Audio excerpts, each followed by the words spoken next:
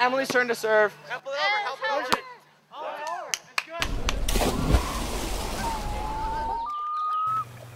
A major part of Toronto United Church Council's commitment to social welfare has been its leadership in providing summer outdoor camping programs in south central Ontario for more than a hundred years.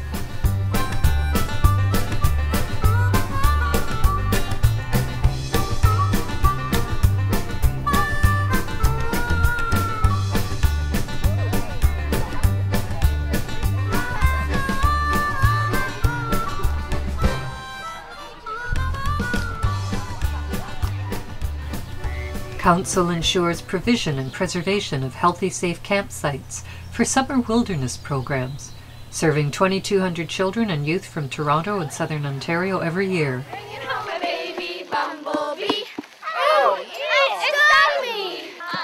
Since we believe no child should be turned away because of a family's inability to pay camp fees, 500 of these young people are helped by Council's Camping Opportunities Fund. So, why is the church involved in camping? Listen to this. Being close to nature is just so calm and peaceful. Feels really good. If you just stop and listen, you can hear so many sounds going on because of the forest is like right nearby. One of my favorite things about being at camp for the summer is that I get to be away from internet and phone and just remember that to live simply so others can simply live. So far, I've had so much fun. There was an awesome campfire last night, and we went swimming. We're gonna go kayaking. Canoeing is my favorite thing at camp. We also have a lot of fun doing arts and crafts. I'd have to say my favorite thing probably have to be sailing. It's just like you get you get out of the water and it's like the greatest thing ever because you sort of just feel the wind and then you have like you just look all around you and you just sort of like have this small little area where you can just talk alone. It's really awesome. My favorite thing is making new friends because then you can get really connected with them. I think my favorite thing at camp is probably eating in the dining hall because we get to do all these crazy fun things. My favorite thing to do at camp is sports and games.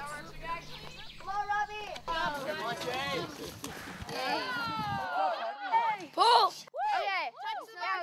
Sometimes animals can give a gift to a kid that as people we can't. Oh, hmm. The animals can be a calming influence. We have to walk by the bridge that has the beaver dam and the frogs that are there and the water snakes that we sometimes see or the turtle buried in it. And it does a great job at showing them the interdependence we have. It's supposed to be that.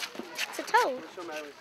He's bumpy up at the top. Instead of just sitting and hearing about something, you get to go outside and practice it. We teach people the ability to succeed.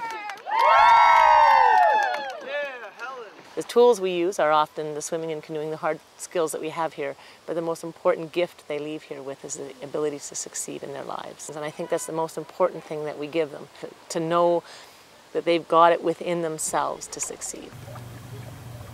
Council fundraising supports the capital construction projects and maintenance needs of each of the camps.